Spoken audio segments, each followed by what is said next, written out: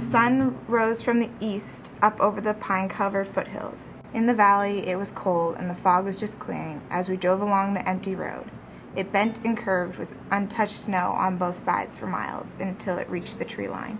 The road stuck out, black, with its yellow center line, and a fence ran along with it to keep the tempted out of the private land.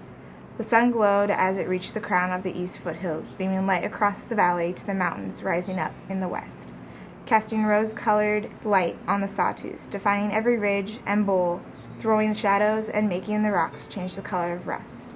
Every day is a new moment in this place, and even after living here for three weeks, I am still in shock every time I see the mountains, and that wilderness can be so beautiful, so untouched.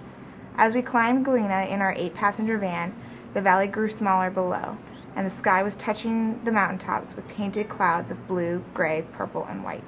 Nature can create such beauty without the influence of humans. Why do we feel like it can't survive without us? Why can't we just let it be?